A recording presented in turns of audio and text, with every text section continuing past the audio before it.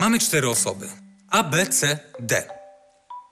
Pytamy, ile podzbiorów może mieć ten czteroelementowy zbiór, dopuszczając podzbiór pusty oraz taki, który zawiera wszystkie cztery elementy. Możemy myśleć o tym w ten sposób, że wśród tych czterech osób pojawił się pomysł, żeby pójść wieczorem do kina. Więc każda z nich niezależnie udzieli odpowiedzi, czy idzie, czy nie idzie do kina, i w ten sposób zostanie umieszczona w jednym z podzbiorów. Osoba A udziela odpowiedzi jako pierwsza tak lub nie. Następnie osoba B, niezależnie od osoby A, udziela swojej odpowiedzi na dwa możliwe sposoby. Tak więc dla dwóch osób mamy już dwa razy dwa, czyli cztery możliwości. Obie idą do kina, żadna z nich nie idzie do kina, idzie tylko osoba A lub tylko osoba B. Następnie osoba C udziela odpowiedzi także na dwa możliwe sposoby. Mamy 2 razy 2 razy 2 i w końcu osoba D także udziela odpowiedzi na dwa możliwe sposoby. Mamy więc 2 razy 2 razy 2 razy 2, czyli 2 do czwartej, co daje 16 możliwych podzbiorów. Możemy spojrzeć na to jeszcze w ten sposób. Mamy jeden podzbiór pusty. Odpowiada on sytuacji, w której nikt nie idzie do kina. Ile mamy podzbiorów jednoelementowych?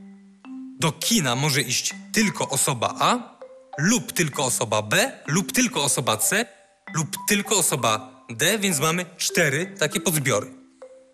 Ile mamy podzbiorów dwuelementowych? Do kina może iść osoba A z osobą B, lub osoba A z osobą C, lub osoba A z osobą D. To są te dwuelementowe podzbiory, do których należy osoba A. Ale może być też tak, że do kina pójdzie osoba B z osobą C lub osoba B z osobą D. I może być w końcu także tak, że do kina pójdzie osoba C z osobą D. Tak więc wszystkich pozbiorów dwuelementowych jest 6. Ile jest pozbiorów trójelementowych? Możemy spojrzeć na to sprytnie, ponieważ jeżeli trzy osoby idą do kina, to znaczy, że jedna nie idzie. Zatem do kina może nie iść tylko osoba A lub tylko osoba B lub tylko osoba C lub tylko osoba D. I w końcu mamy jeden podzbiór czteroelementowy. Wszyscy idą do kina. Zatem wypisaliśmy wszystkie te podzbiory ze względu na liczbę elementów. Możemy je teraz sumować.